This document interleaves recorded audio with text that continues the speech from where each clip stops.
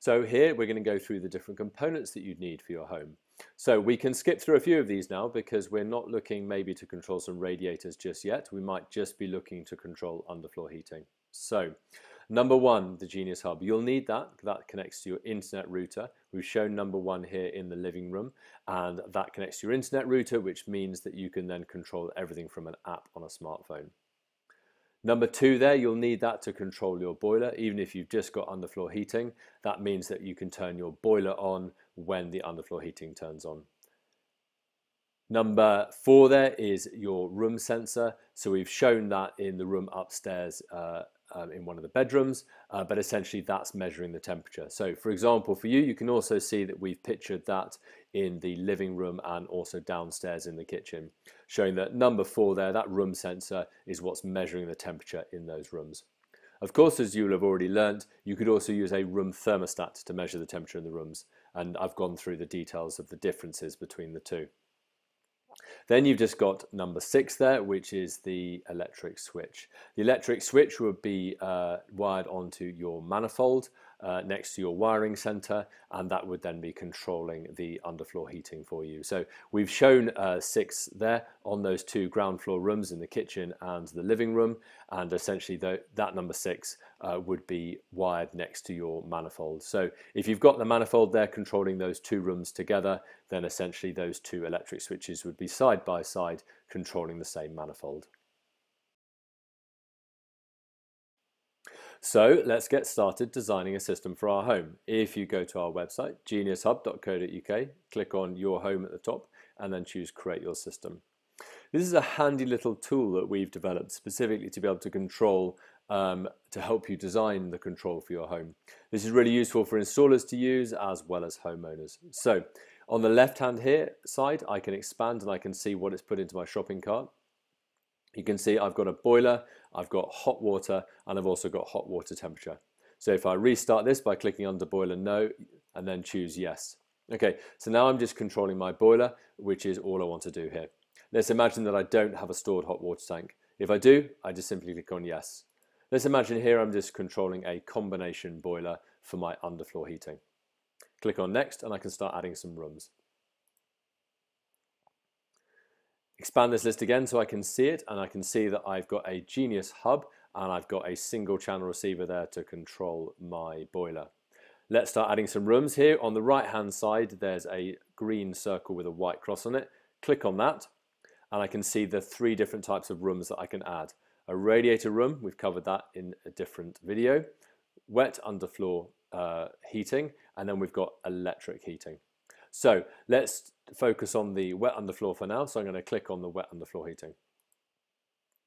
Okay, here we can see that we have partnered with JK Floor Heating. They do a great way of uh, being able to cut channels into an existing floor, uh, which makes for a really good form of underfloor heating without you having to adjust the floor level. So if you had to dig down before and maybe put insulation in and then put screed on top, that's not necessarily with a JK Floor Heating system. So we've partnered with them because we do a lot of their control. So if you are a JK customer, click yes. If you're not and you've got another or you've got an existing underfloor heating system, choose no. So here I'm going to choose no. Okay, now choose done and you can see I've got my first room of underfloor heating. Let's call this living room. Okay, so I've got my living room there and I can see that it's put a Genius room sensor in and an electric switch. That's all I need to be able to control a single zone of underfloor heating. Now, if I want to swap and I don't want the room sensor, I want uh, a thermostat, I can click on the pencil symbol here, and then you can see I can then swap from a single uh, a Genius room sensor to a Genius room thermostat by simply swapping like that. But in the living room, I'm going to have a room sensor for sake of argument. The control devices down here, a single channel receiver or an electric switch, actually just comes down to your existing wiring center. So if you already have a wiring center, then you might want to swap it to a single channel receiver if it's a 24 volt wiring center. If you've got a 230 volt wiring center or you're getting a wiring center from us, just leave it as an electric switch. Okay, now choose confirm. Now I'm going to add another room of underfloor heating, so I click on that and then choose wet underfloor and then choose done. Now this time I'm going to call it my kitchen. Now in my kitchen I'd like to have a thermostat so I can control the temperature more easily without having to use the app. So if I click on the pencil symbol there and then I change it from a Genius Room sensor to a Genius Room thermostat, choose that and then choose confirm. Let's add another room. Click on the plus, choose wet underfloor. Okay, Genius Hub now is warning me that I've obviously got a slightly larger home than some people, so it's going to ask if I want some smart plugs. Now, the Genius Hub uses a self-healing mesh network. That makes it really robust. So what happens here is if you add smart plugs, it boosts the signal to different parts of the house.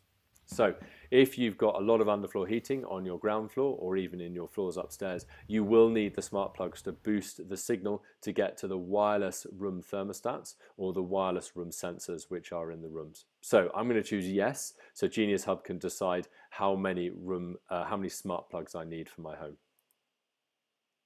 Click on done, add the last room downstairs. Okay, so I've got my last room downstairs now. Upstairs, if I wanted to add more rooms, I could add radiator rooms or add more underfloor heating rooms. That's really easy. Okay, so if we look at the design here, we can see we've got a Genius Hub that gives you control from the app. We've got two room sensors because two of my rooms have room sensors. We've got one Genius Room thermostat because I chose that for my kitchen. I've got one smart plug to boost the signal. I've got a single channel receiver to control the boiler. I've got three electric switches that controls my underfloor heating. So if I need a wiring center from Genius Hub, that's the underfloor heating wiring center, I can click on the plus symbol here. I can choose others and I can choose underfloor heating wiring center down here at the bottom. That allows Genius Hub to then provide us with a 230 volt, uh, 230 volt wiring center choose confirm, and then done. So that's all the control there for my underfloor heating. Now, it would seem a shame not to maybe control the rest of my house also with the Genius Hub. So I actually only need to add one more component to this order and this design, and then I have full control over absolutely everything in my home. So if I've got radiators in my home as well, maybe upstairs or, or other, other parts of the house, uh, then essentially I can just click on the green plus again. I choose others and I choose a Genius Room thermostat there. Add that and then choose confirm. Okay, now what that does is it adds a thermostat which I can put maybe into the hallway, a wireless thermostat I can put into the hallway or, or I can put it upstairs wherever my rooms are. Just need to help Genius understand Genius Hub understand maybe what I'm going to use that for. So useful just to put a note in there, for example, room thermostat to control the rest of my house. Now Genius Hub, when they build this system, will know exactly what to do. So that's one of the unique things about Genius Hub actually, is that we actually build this entire system in our warehouse. We fully test it and then we ship it to you. Now what this means is that you get a system that will work straight out of the box. You don't have to sit there trying to link everything together yourself. Essentially, the app, the first time you load it, will have everything for you. That's why we set up the names there and we ask you to give you us the names of the rooms so we can set everything up. Saves a lot of time and money on site with installers because they're not having to program everything. They just know that when they take it out of the box, they screw it to the wall, then it's all going to work straight away. So if I'm happy with my design there, I can then choose save at the bottom. I can then put my name, my email address and my phone number in there and then send it to myself. One of the great things about sending myself a quotation at this stage is that logs the quotation uh, on the Genius Hub server. That means that should you have any questions about it, you can then easily get in touch with us and uh, we can have a look at the same quotation on our screen and then we can guide you through any questions that you've got and give you answers to anything you need to know. Okay, if I'm happy with my design here, I'm just going to click on the shopping cart. That will then put it into my shopping cart.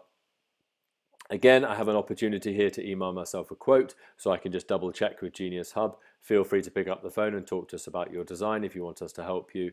Otherwise, if you're ready to go, then just choose proceed to checkout there.